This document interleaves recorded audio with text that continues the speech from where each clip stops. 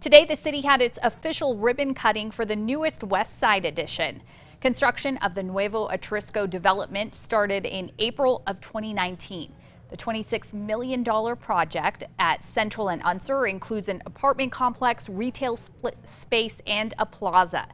Today's ribbon cutting is for the finished affordable housing apartment complex and the retail office.